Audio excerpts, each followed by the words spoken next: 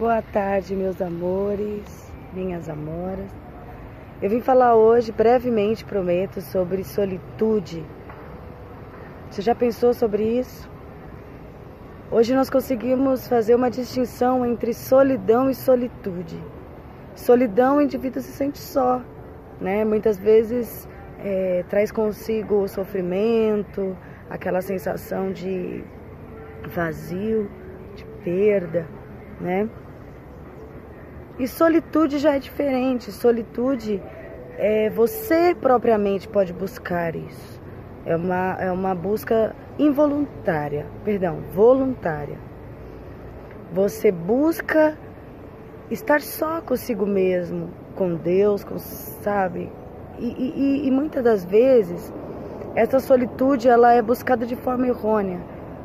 Porque quando você precisa, e todos nós precisamos desse momento só, escolha um lugar onde você se sinta em paz. Escolha um lugar onde você se sinta bem, né? Onde haja silêncio de preferência, principalmente no começo. Respira que é grátis, respira. A respiração é algo muito importante nesse processo, porque a respiração é de graça faz muito bem e nós não a desfrutamos como devíamos. Né? Então, esse momento introspecto não é um momento para você ficar pensando nos problemas, ficar pensando na, nas contas que você tem para pagar, ficar pensando na, sabe, nas questões que você tem que resolver, né, nos maus que te fizeram, te causaram, nas culpas, nos medos, nas inseguranças, nas incertezas né? Esse momento é para você se conectar com o seu presente. É um momento onde você precisa se conectar. Eu estou aqui. Eu sinto isso aqui. Eu ouço e sinto o oxigênio entrando em meus pulmões, invadindo todo o meu corpo, mente, alma, espírito, sentindo esse, essa presença sabe? Estar presente. Não faça da sua vida hoje um algo para o futuro, algo que você precise buscar amanhã. Ai, amanhã eu terei, eu encontrarei quando eu finalmente chegar a esse ponto. A felicidade ela não está no modo de chegada, ela está no caminho, na trajetória. Então não espere ter algo para ser feliz, não espere alcançar algo para ser feliz né? Em meio a essa turbulência, da, eu moro em Guarulhos, né? São Paulo, e toda essa metrópole, toda essa, é, é, essa urbanização, né? Que eu, que eu vejo, enxergo a sua beleza, eu amo, tá? Mas assim, a natureza, eu particularmente, eu tenho um, eu tenho essa afinidade, essa questão e me liga, sabe? Faz essa ligação com a minha essência, com quem eu sou, com o Criador. Né? Então isso me equilibra. Encontre a sua, encontra, encontre a forma onde você vai encontrar esse equilíbrio para você se conectar.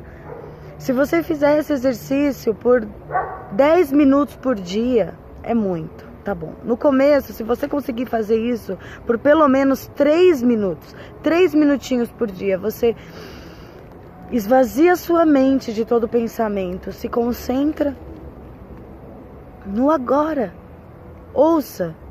Eu tô aqui, eu busquei o silêncio, mas tem, tem, tem barulhos e nem sempre você vai conseguir o silêncio, mas procure se conectar, porque quando você conseguir se conectar consigo mesmo, mesmo no barulho, mesmo em meio.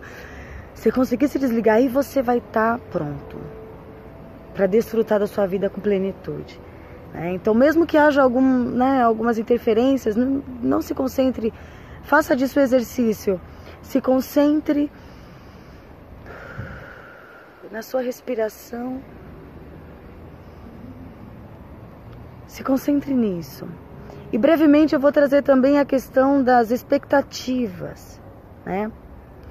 Então, solitude versus expectativas. Por que você buscar essa, essa, esse momento seu, na sua companhia, né? Para sentir os, os, a sua própria energia, para sentir a sua respiração né? o seu sangue correndo nas suas veias, se conectar consigo mesmo, porque nós nos perdemos de nós. Não se perca de si mesmo. sabe? Não perca porque você está preocupado com as expectativas alheias. Em talvez em não frustrar a expectativa das pessoas, aí você passa uma tinta na cara. Eu me refiro a maquiagens. Amo maquiagens, tá? Amo. A maquiagem que, porque ela serve para apenas é, expor aquilo que você tem de mais bonito. Agora, quando você faz disso uma escravidão, sabe? Você se torna escravo disso, da maquiagem, ou de seja lá qualquer, qualquer coisa, qualquer vício, qualquer hábito, né? Seja você talvez beber, talvez você precisar de alguma coisa para te conectar com alguma coisa que você desconhece, mas que te dê algum certo prazer, algum equilíbrio momentâneo, mas que te dê. Procure se conhecer sabe? Saber quem você é. Né? Porque isso vai te livrar de, de, dessa questão de ter que agradar todo mundo o tempo todo. Você vai se sentir tão livre. Sair na rua sem ter que se maquiar, sem ter que pentear os cabelos e, e fazer disso algo bom. Eu não estou dizendo que você não vá se cuidar, se maquiar, fazer uma chapinha no cabelo. Eu faço. Mas estou dizendo que você precisa, acima disso, saber que você não é isso. Isso só é parte. Essas coisas fazem parte. Mas você é além. Você é um ser que pensa, um ser que respira e que vive. Você é um ser vivo e racional. Você não está aqui como um robô. Você está aqui para desfrutar. Então desfrute a sua vida com plenitude. Nem que para isso você tenha que se isolar do mundo às vezes, em alguns momentos. Busque a sua solitude e tenha prazer nisso. Tá bom? Eu fico por aqui e um grande beijo para você. Paz e amor.